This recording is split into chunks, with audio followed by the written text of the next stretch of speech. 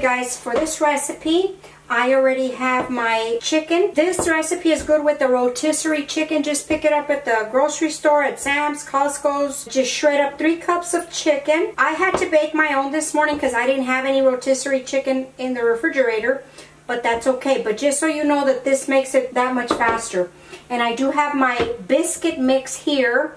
We're to add the pepper and the celery seeds to that. And we are going to give this a little mix. Real easy. Now the chicken, we are going to add the hot sauce to it. Just give it a little mix. Okay, and we're just going to go ahead and start mixing all of this. You're going to add the milk, the ranch dressing, and the egg. Just break it up a little bit. And with the wooden spoon, we're just going to give this all a mix. Okay, and then we're going to pour in the biscuit mix, just all of it together, and the cheese. And the cheese, you're going to reserve some for the top. I already have that reserved. And give it a good mix just till it's incorporated. Okay, and there's our oven. It's preheated to 400 degrees. Okay, let's get the pan ready. I have a cupcake tin here, and we're gonna take our baking spray, and we're just gonna spray them lightly. This is a non-stick tin anyway, but I still wanna spray them to make sure they come out. And then we take our chicken, and I like to use a cookie scoop. It's just faster, you more even uh, sizes, and just divide it into the 12.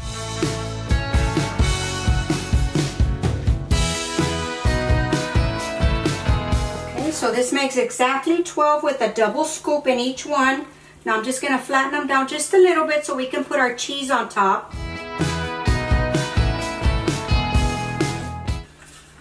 Okay guys, there they are. Uh, I'm going to pop them into the oven and I'll be back to show you the finished product. Okay everybody, the buffalo chicken biscuits are out of the oven. I'm going to let them sit here to cool for just a few minutes before I transfer them and then I'll show them to you. Look at how yummy these look. They smell delicious. Okay, I'll be back. Out. The buffalo chicken biscuits are out. They smell delicious. I did bake them at 400 degrees for 25 minutes. And I was watching them because they started to brown really quick. So I went in to check them. And look at that, how delicious. I'm going to bring you in for a close-up so you can see how, how much chicken you can add more chicken if you want, but I think that's the perfect ratio for this biscuit. And they're nice and moist. They're not dry. Really nice little crust with the cheese on top. Alrighty guys, let's give these chicken, buffalo chicken biscuits a try. They smell really good.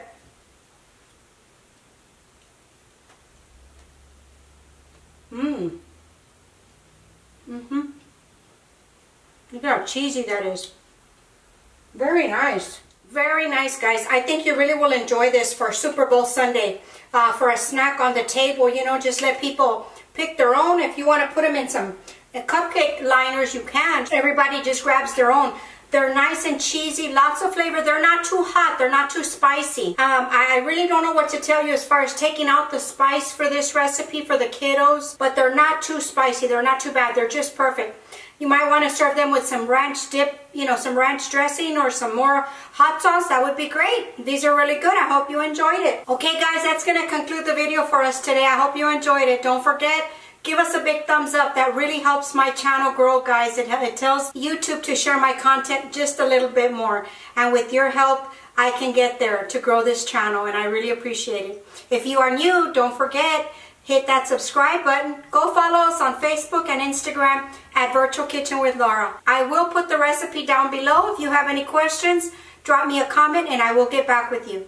Okay, I'll talk to y'all later. Bye.